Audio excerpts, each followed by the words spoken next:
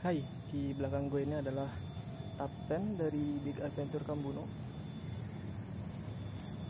Yang udah gue modifikasi sedikit di bagian tali tali pengencangnya yang dulunya nggak bisa di adjust sekarang bisa di adjust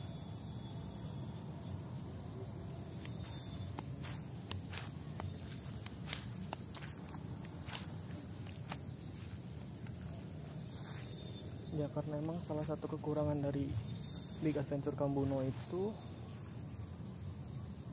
nggak bisa di adjust jadi gampang ngondoy gitu. Kalau ngondoy susah.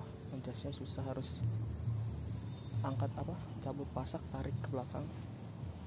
Kalau pakai apa sih namanya? Line lock gini dia jadi gampang di adjust ya. Tinggal tarik doang. Nah ini line lock bener nggak ya namanya saya gue nggak tahu nama yang benernya apa ini juga gue taunya dari seorang maker tab katanya ini namanya line lock. Dia bisa di adjust tinggal tarik doang. Inner router gue kasih. Semuanya di setiap sisi gue kasih. Ya karena emang kekurangan tab dari Big Adventure ini nggak bisa di adjust jadi kalau ngondoy susah harus harus cabut pasak. Cabut pasak tarik mundurin gitu. Kalau tanahnya apa namanya tanahnya gampang hancur gitu kan susah nanti udah ditancepin jadi susah nancep lagi gitu. Tanahnya gambur kan susah. Soalnya gua ngerasain banget setelah satu tahun pakai tap ini kekurangannya itu kekurangannya ondoy karena dia kan pakai bahan nilon ya nilon 20D nilon itu kan banyak stretch. Kalau kena hujan embun dia kayak jadi ngondoy gitu karena bisa stretch. Pagi-pagi tetap ngondoy.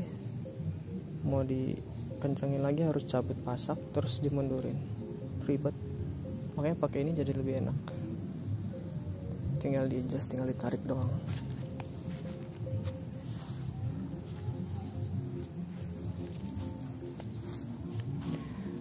setupnya mungkin sama ya kayak yang di tutorial oleh Big Adventure. Bisa bareng inner dan outer cuma mereka karena nggak bisa di adjust jadi efeknya mondoi gitu. Kalau kayak gini kan bisa di adjust bisa ditarik tinggal ditarik aja dikencengin. Oke lah kita langsung aja. Setup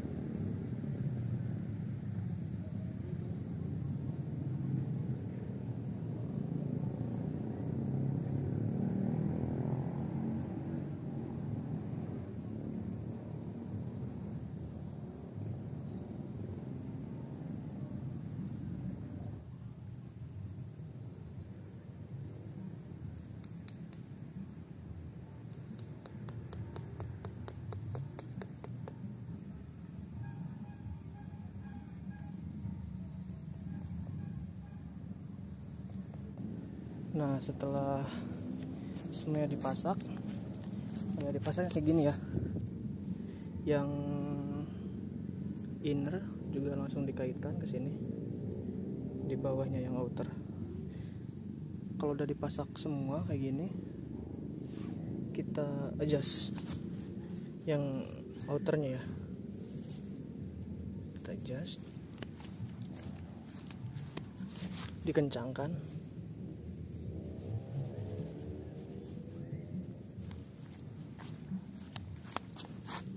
outer dulu.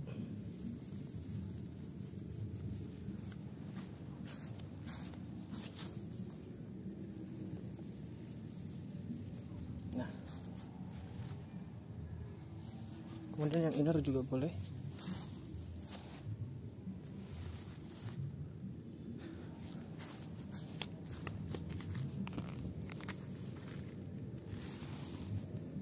Jangan terlalu kencang terutama yang bagian belakang jangan terlalu kencang ya.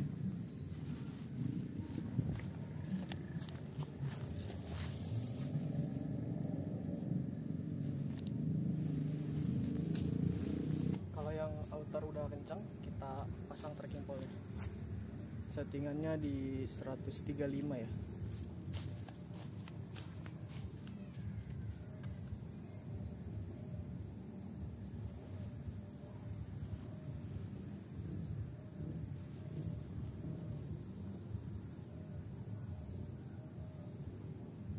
di bagian inner biasa ya dimasukin ke penahan tracking pole-nya. Diikat nanti langsung diberdiriin aja kayak biasa. Langsung diangkat gitu. Diangkat ke atas. Oke. Oh iya misalkan mau kita kalau gini kan setupnya bareng ya antara inner dengan outer. Kalau mau beda bukan beda maksudnya kalau mau outer dulu ya pasang aja dulu outernya innernya nanti dulu.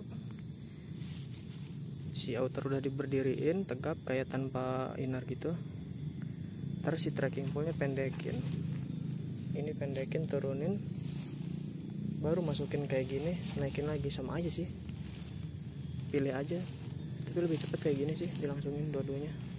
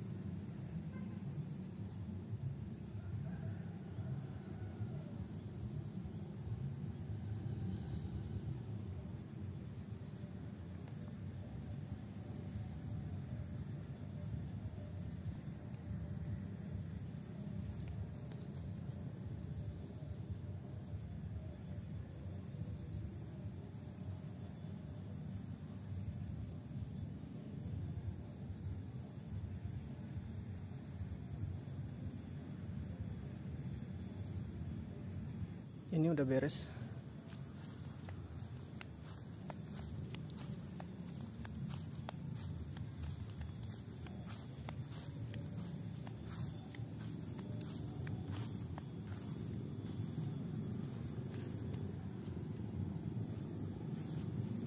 nah ini kayak gini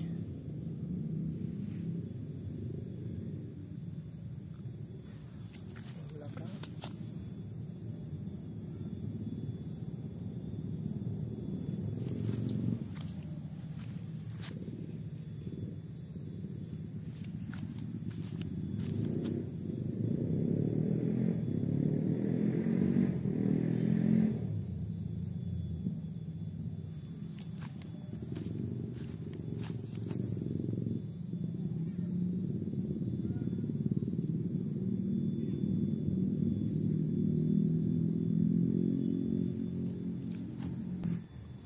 suara kebol lagi. Ngeri diseruduk gua. Kita lihat dalamnya ya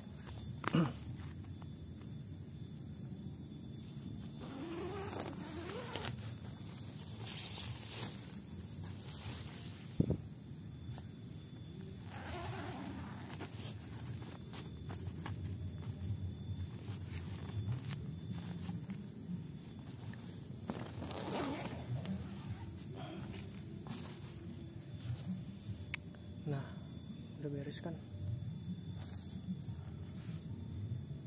enggak. Ngondoi kalau ngondoi pun tinggal ditarik doang. Nah yang bagian depan dia agak ngangkat sedikit. Mungkin karena posisi inner dengan outer terlalu jauh ya. Jarak jarak dari sini ke sini terlalu jauh. Kalau yang belakang kan deket banget jadi jadi ya pas gitu nariknya. Harus kan gini nih kalau deket kan segini dong paling. Berhubung jauh jadi ya kayak gini.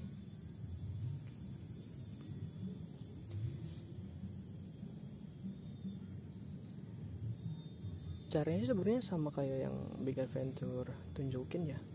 Cuma karena nggak bisa di adjust jadi malah nimbulin malah nimbulin malah nimbulin apa? Ngondoi kalau dikasih line lock semua kayak gini jadi bisa di adjust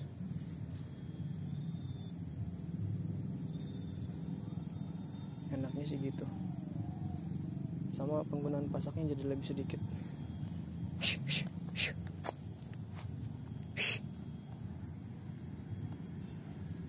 Apa sih?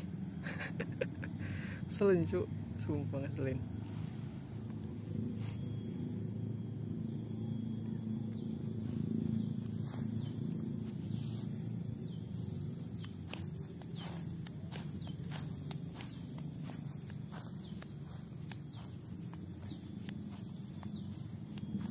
udah kayak gitu aja lah ya. Nih ngeganggu nih.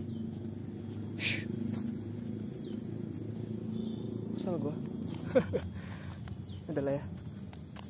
Semoga bermanfaat. Silahkan dicoba. Kalau ada yang mau ditanyain tulis aja di kolom komentar. Dah